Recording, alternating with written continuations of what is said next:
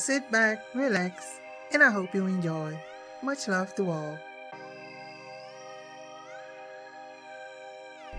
In the Celtic religion, the modern words Druidry or Druidism denote the practices of the ancient Druids, the priestly class in ancient Celtic societies through much of Western Europe north of the Alps and in the British Isles. Druidic practices were part of the culture of all the tribal peoples called Keltoi and Galatai by Greeks and Celtae and Galli by Romans, which evolved into modern English, Celtic, and Gaulish. Modern attempts at reconstructing practicing Druidism are called Neo-Druidism.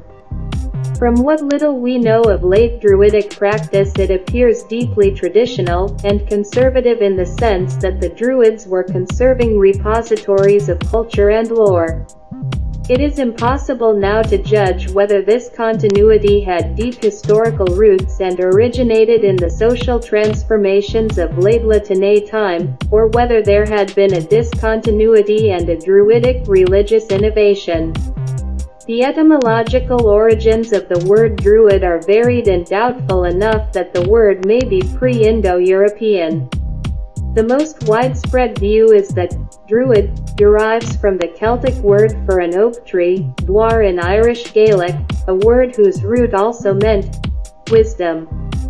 Their influence was as much social as religious. Druids used not only to take the part that modern priests would, but were often the philosophers, scientists, lore masters, teachers, judges and counselors to the kings. The Druids linked the Celtic peoples with their numerous gods, the lunar calendar and the sacred natural order.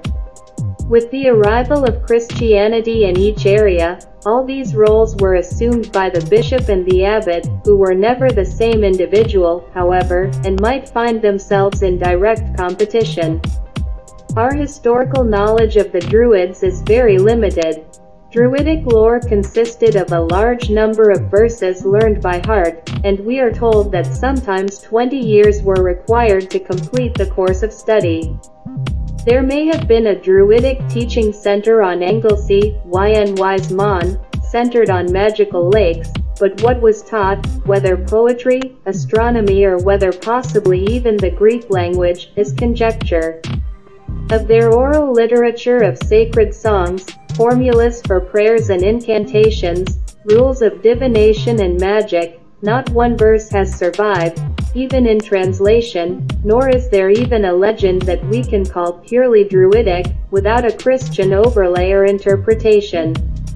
Much traditional rural religious practice can still be discerned beneath Christian interpretation, nevertheless, and survives in practices like Halloween observances, corn dollies and other harvest rituals, the myths of Puck, Woodwoses, Lucky, and Unlucky, plants and animals and the like.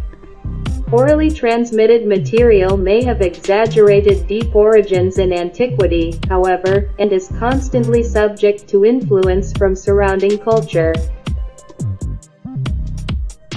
The Druids constituted the learned priestly class, and they were guardians of the unwritten ancient customary law and had the power of executing judgment, of which excommunication from society was the most dreaded. Druids were not a hereditary caste, though they enjoyed exemption from service in the field as well as from payment of taxes.